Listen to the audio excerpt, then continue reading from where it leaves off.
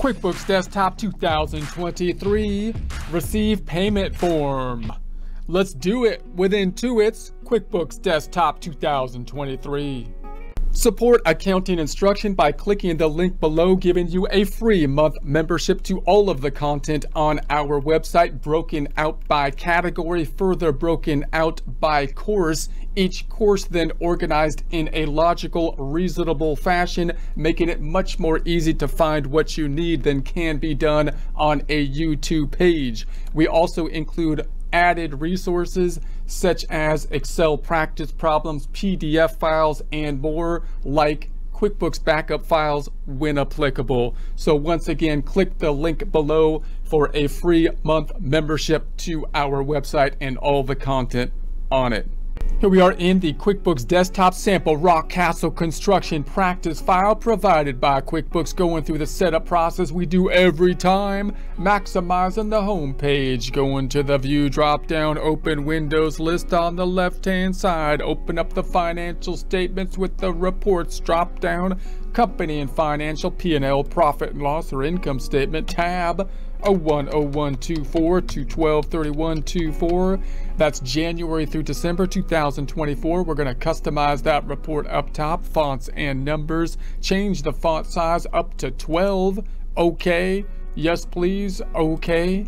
Then go to the reports again, company and financial, this time with the balance sheet.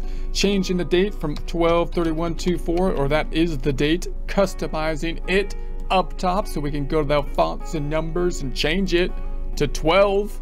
Okay. Yes, please. Okay. That's our setup process. Going to the home page now.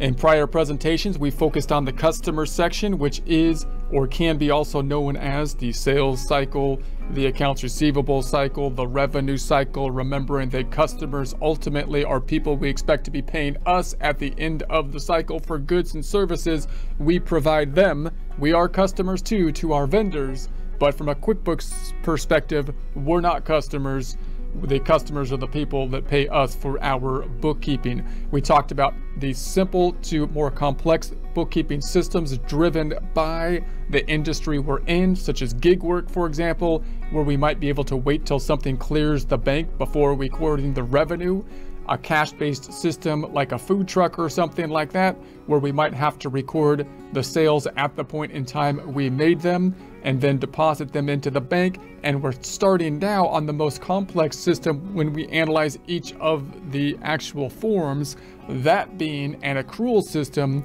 where we have to do the work first, like a bookkeeping firm, a law firm, landscaping or something like that. And then we bill the client for the work that has been done that invoice being that form that we use to do that, which records an increase in the accounts receivable. And just note that the invoice is another term that we can use if, if when we receive something that is a charge, we call it a bill. So these terms in practice, you can use them kind of interchangeably. We billed the, the client for, for work that we did. When we bill them though, from a QuickBooks perspective, it's an invoice. So notice that we might receive an invoice from a vendor that says invoice on the top of it. And, but from a QuickBooks perspective, that's a bill. So we got to kind of keep in mind the terminology in terms of the QuickBooks system and which side of the table we are on with regards to the forms that are being used. So the invoice increases the accounts receivable, records sales at that point in time, which we talked about last time. And then we're going to have to receive the payment. So we might receive the payment in the form of a check in the mail, an electronic transfer of, of some kind or something like that. We might get cash, for example.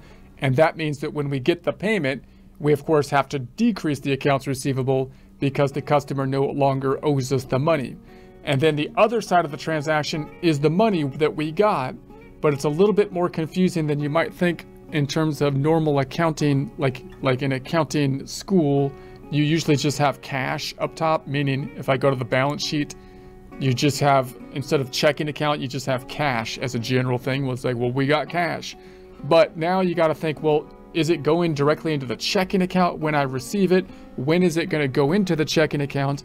And when it goes into the checking account, am I going to be able to group my bookkeeping system to what actually clears the bank in the same format so that I can reconcile with the bank? So going back to the to the home page then, uh, normally the default system in QuickBooks is to actually means that we're going to put it into a clearing account like undeposited funds and then de deposit it in cash with the checking account into the into the checking account with a deposit form.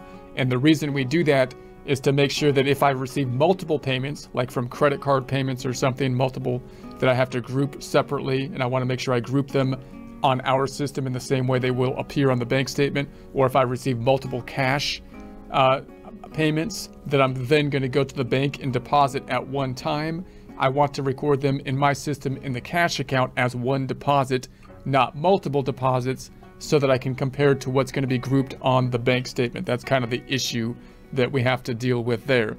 So let's imagine then that we created an invoice and then we're going to receive the payment. One way we might do that is we might say, okay, I'm just going to go into the receive payment here and then choose the customer that we got paid from. And that should tie back to any invoice that will be populated back here.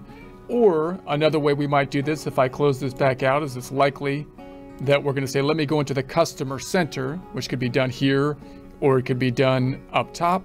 I usually go up top to the customer center and then this is our list of invoices on the left hand side. We might find the particular customer. We might hit the drop down and say, where's my customers with open balances?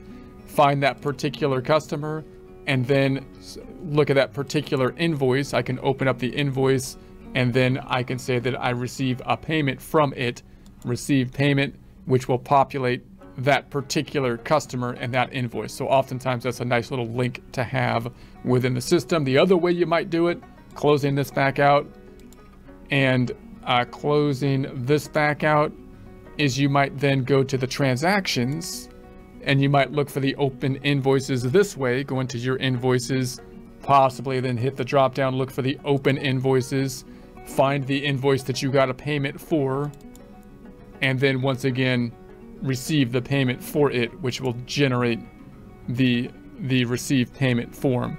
So that's that's the general idea. Now let's let's look at this one here. Let's close this back out, and let's just say I'm going to close out the invoice. The invoice. Let's pick this one, Albert, up top, and so so Allard. So I'm going to just create another uh, receive payment instead of linking it here, just so we can do the full data input. So I'm going to go, let's go. We can also find this form in the drop down. So if I go to customers and I say there's a receive payment, receive payments, boom. And we've got Allard. So there it is. So because I have the invoice already open it, open it automatically, but we'll keep it there. So if I tab through this, the payment that we're going to receive, we're going to say the 14510. So there's the 14510 and the uh, date is 12 15 24 and then you got to determine how you were paid. Were you paid with a check? Now this this is kind of an information field. It, it may not have a big impact on on the data input but it gives you a little bit more information as you record the received payment. If you have cash that you've received then it's more likely that you're going to need to group that cash together in an undeposited fund before putting it into the checking account so that you make sure that you put it in the checking account in the same grouping. We'll talk about that in a second. If it's a check, then it's likely that if you deposit it directly into the checking account, that it might, you know, it might be okay because that's how you would expect it to clear the bank as one single check. If it's a if it's a credit or debit card, then you've got to deal with the credit card company which is going to basically be grouping the sales that they make and depositing them into your bank. They might have fees as well with relation to the credit card. So you have to come up with a system, possibly using the clearing account of undeposited funds to make sure that you're grouping things properly when you deposit into the checking account so that it matches out with the bank statement. And then you could get like an e-check, you get paid online, which again, you might be able to deposit that directly into the checking account because you would expect it would appear on your bank statement as the same amount and then you've got your more options here. So reference number, if there's a reference number applicable, if it's a check, it will be a check number. This isn't a check number that you're creating because it's not a check you're writing. It would be the check number from the person that paid you. And then it checks off the amount down below, which is representing an invoice. So it's tied to the invoice. And so if I double click on this, it opens the related invoice. So that's the general idea. If I close this back out and what's going to be the transaction that is recorded with this, it's a customer payment, and that means it's going to decrease the accounts receivable because the customer has paid off what is owed. The other side is not going to go to revenue because this is an accrual statement form that decreases the accounts receivable. We recorded revenue when we recorded the invoice. The other side is going to go either to the checking account or to that clearing account of some kind undeposited funds. Up top, we have the, the information. We've got a new one. We can delete the transaction. You can print it. You can have an email payment and attach files. You can add the attachment, look up customer invoice, uh, unapply payment, discount and credits, applies discounts and credits to the highlighted invoice, uh, add credit card processing, and then the formatting. You've got the preview. If I select the preview, looks like this, although Notice that this form is generally more of an internal form, so you might not be uh, providing this form to to someone else. You might have like a thank you payment or receive payment kind of thing. But the invoice is generally, of course, something that you're going to give to the customer. And this form might be an internal form just to help you to do the data input that you have received the payment and be able to match that to the actual invoice. You might have different templates and customize the data layout. Reports, you got the quick report, you got the transaction history, you've got that journal, and this one you must you must first highlight the transaction in the report. Journal, it won't let me do the journal. Okay, well that could give you a journal entry oftentimes, but this one's fairly basic. Typically accounts receivable is going down, the other side's going to undeposited funds. Process, then you've got a, couple other report options here the uh, process payment receipts. You got the view the open invoices uh, reports. These reports can be generated through the reports area typically, or you might be able to find some of this information in the customer center and then the payments given you that add credit card. Back to the main page. I'm going to close this out. One more thing I want to I want to look at. I'm going to say no. And I'm going to close this out. I'm going to go to the home page now, when you have the receive payment, you got invoice. Next thing is receive payment. If you wanted to, to, deposit this directly into the checking account, notice that you don't have any kind of option right here. You could add the option and you could do this by going to closing this out, edit up top, and then go to preferences. And then I'm down in the payments area and company preferences. We'll talk more about these preferences later, but notice that by default, I believe this is checked off. Use deposit, use undeposited funds as the default deposit to account. If you uncheck that, then it'll give you an option to deposit it somewhere else, such as the checking account. So I'm going to say, okay, it's going to make me close all the windows, I think. So it closes all the windows. I'm to say, all right, close all the windows. Company file, opening the home page back up. Give me that home page back, maximizing it now if I go into the receive payments, it's going to have then this drop down. So I can I can then deposit it into the checking account or into the undeposited funds. I have the option of going directly to the checking account if I so choose. But by default, it's going to take you to the undeposited funds, which you can see in the flow chart.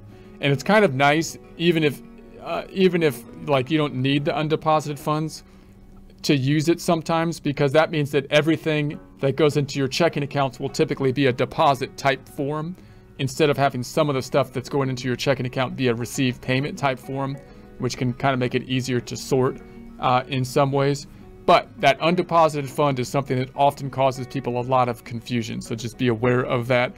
Let's go into the reports and see and analyze it from the end result and then drill back down. I got to open them back up because it closed them up when I did that change, I'm going to go to the P&L and we'll say from 010124 to 123124. I won't do this. I'll do the same process of customizing and so on.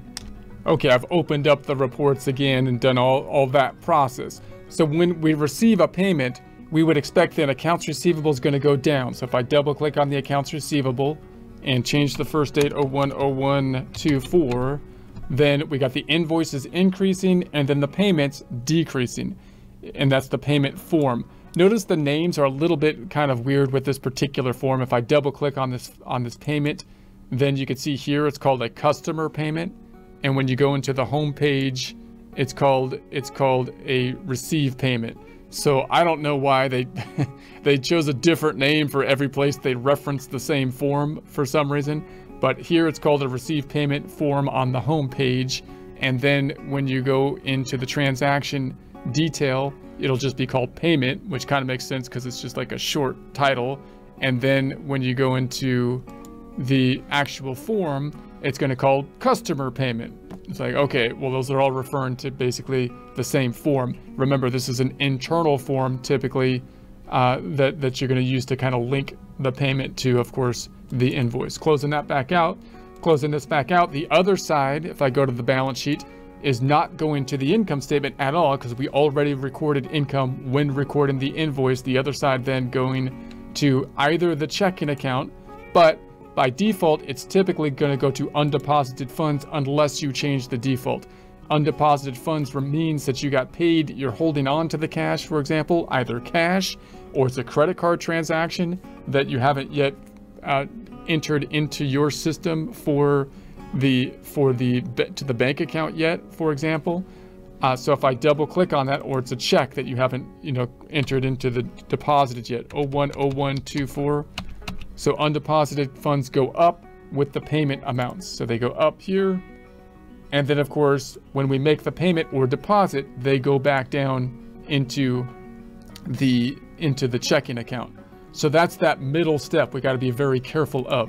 If you go to, to someone's books and they have a bunch of money in here, it should be represented. That should be representing money they're holding onto, cash or some kind of credit card transaction they haven't yet processed over into the checking account or something like that. That's the general, uh, the general idea. Now, the reason that's kind of important, let's just kind of recap on that. If I go back to the home page, if, for example, every transaction that we had here we just deposit directly into the, the checking account right here. Let's say we use the receive payment to just deposit them directly into the checking account and I get something like cash or I get something like credit cards, then I might get multiple customer payments that are going to be grouped together in some way by us when we deposit cash or the credit card company when they deposit the money into our checking account that will be different because I recorded them one by one here than what will be in the bank account that's going to make the bank reconciliation a problem. That's why the undeposited fund is useful. So the next step would be to take that received payment that's in the undeposited funds and deposit them. This being the form for undeposited funds. So when I go here then, which we'll do in a future presentation, I'm going to check off the amounts that are going to be deposited at the same time so that they in, a, in such a way that they're going to be reflected on the bank statement, which will make the bank reconciliation easier closing this out, closing this out. Now notice when you think about bank feeds in this process, it gets more complex, right? So where do the bank feeds fit in? I could, I could, you know, try to say I'm gonna, I'm gonna deposit things when I receive the payment with the bank feeds, or I can deposit everything and just use the bank feeds to kind of double check what I've been doing, which is probably the most common thing, right? If you have a full accrual system, you're probably going to be creating the invoice and you could try to wait until it clears the bank if they're going to give you an electronic transfer and then try to connect the bank feed to the invoice, right? Or you could record the received payment to undeposited funds and try to wait till it clears the bank and record the, the amount from undeposited funds to the checking account with a bank feed. Or you can actually record the deposit yourself, which is probably the most common thing in a full service accounting system, and then use the bank feeds to double check that it has been recorded using the bank feeds in that case more as a reconciliation tool as opposed to a tool to actually construct the financial statement, which is what the, the bank was traditionally used to do as a double check, not as the thing used to create the financial statements. This number two here, by the way, represents the fact that you have two things, either the receive payment or create sales receipt that are currently in undeposited funds and need to basically be deposited with that. And we'll talk more about that in future presentations.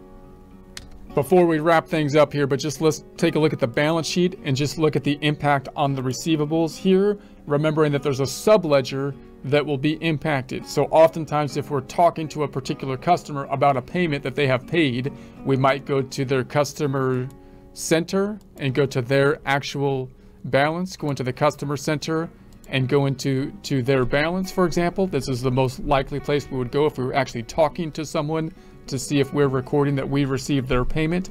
We might go into the transactions here and look at the invoices and look at the, the invoices that are, are uh, open invoices, for example. And of course, we can go to the reports up top and look at that detailed reports under the customers and receivables for customer balance detail.